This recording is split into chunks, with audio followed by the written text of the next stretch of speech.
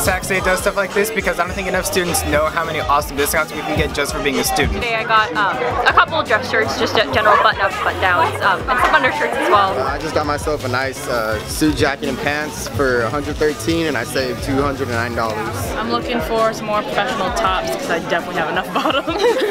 I'm about to graduate. I'm going out to the professional world. I need something to help me out. So uh, we saved 235.78. It's a super cool event, and I love that Sac State can partner with JCPenney's and do this for students.